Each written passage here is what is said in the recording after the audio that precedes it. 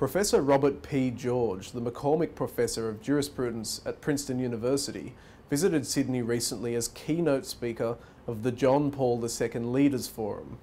Praised by US Supreme Court Justice and former Harvard Law School Dean Elena Kagan as one of the nation's most respected legal theorists, he is celebrated author of 14 books and numerous articles.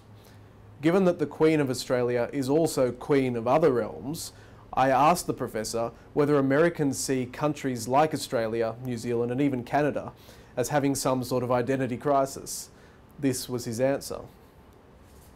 Well, I can tell you how Americans perceive Australians. Do it in a single word.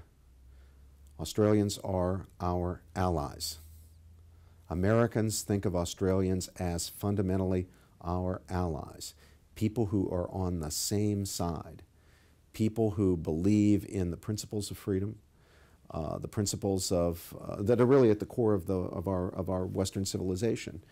Uh, of course, our fighting together uh, in wars, especially the Second World War, the extraordinary valor and courage of Australian troops in the great world wars and in other uh, conflicts is deeply appreciated and admired uh, by Americans we have what we call a special relationship with Britain. We fought a revolution uh, against them to gain our own independence, but there's no doubt that we have a special, uh, uh, special relationship with Britain.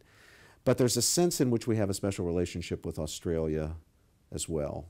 We certainly think of uh, Australia as a sister nation, a democratic nation, uh, a nation with a, uh, with, a, with a proud and good history, uh, we have our faults, you have your faults.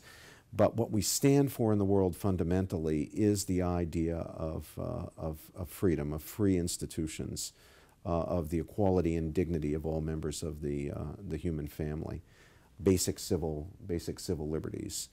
Uh, so Americans think highly, very positively of, of Australians, just as we do of our, of our, of our British cousins and our Canadian uh, neighbors to the north. Again, our allies in, in the great wars of this uh, past century. And we're certainly viewed as, uh, as an independent nation. Oh, yes. I, I think, uh, I think most Americans probably would not know that the Queen is uh, sovereign uh, in, in Australia.